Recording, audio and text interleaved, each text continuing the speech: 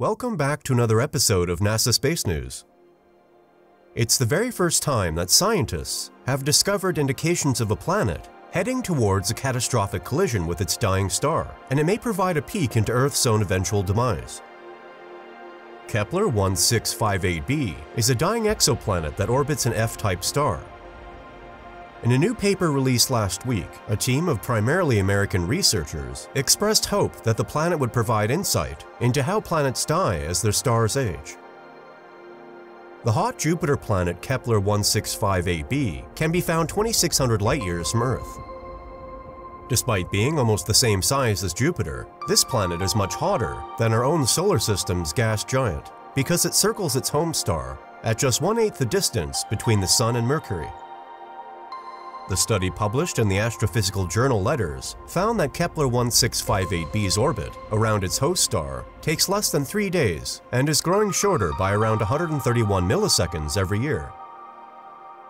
Scientists have predicted that the planet will collide with its star in under 3 million years if it continues to spiral towards it at the observed pace. This is also the first time that we have seen direct evidence of a planet in a spiral motion in the direction of its evolved star.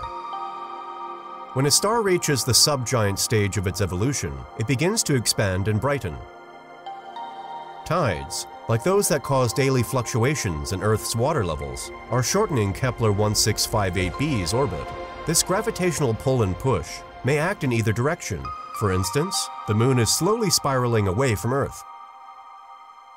So, could Earth be on its way to the same end? It is believed that many planets, including our own, will meet their inevitable fate when their host stars die out, as will our Sun in the distant future. It all will begin when our Sun become a red giant star in about 5 billion years or so. Then, Earth's orbit may decay toward the Sun due to the tidally driven processes like those seen on Kepler 1658b. Although this impact may be mitigated if the Sun loses mass, but what will happen to Earth in the end is uncertain. When the Kepler Space Telescope was launched in 2009, it made the first ever detection of an exoplanet, which was revealed to be Kepler 1658b, but it took more than 10 years of work before the planet's existence was verified in 2019.